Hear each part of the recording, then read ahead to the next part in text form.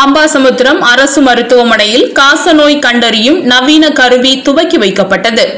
அம்பாசமுத்திரம் அரசு மருத்துவமனையில் ரூபாய் பத்து லட்சம் செலவில் நிறுவப்பட்டுள்ள காசநோய் உள்ளிட்ட முப்பது வகையான நோய்களை கண்டறியும் நவீன கருவியை பயன்பாட்டிற்கு அர்ப்பணிக்கும் நிகழ்வு நடைபெற்றது.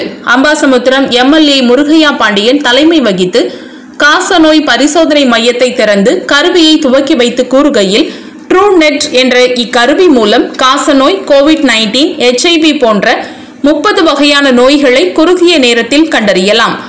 பரிசோதனை செய்த அரை மணி நேரத்திலிருந்து ஒரு மணி நேரத்திற்குள் ரிசல்ட்களை தெரிந்து கொள்ளலாம். தேவையானோர் இந்த வாய்ப்பை பயன்படுத்திக் கொள்ளலாம் என்றார்.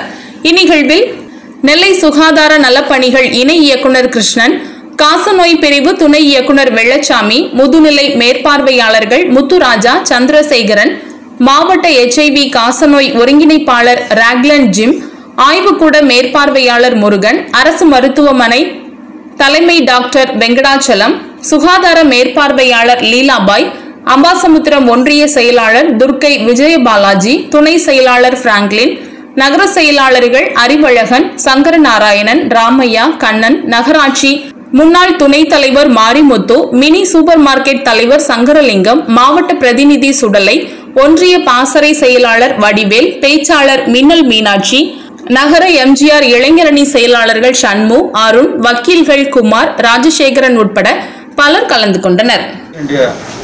விலையின் மதிப்பு பத்து லட்சம் ரூபாய் தென்காசி டிஸ்ட்ரிக்டில் நிறுவப்பட்டுள்ளது. நெல்லை திருநெல்வேலி டிஸ்ட்ரிக்டில் அம்பாசமுத்திரம் வழங்கு மருத்துவமனையில் இது நிறுவப்பட்டுள்ளது. பேர் அஹ் டாக்டர் வெள்ளச்சாமி துணை இயக்குனர்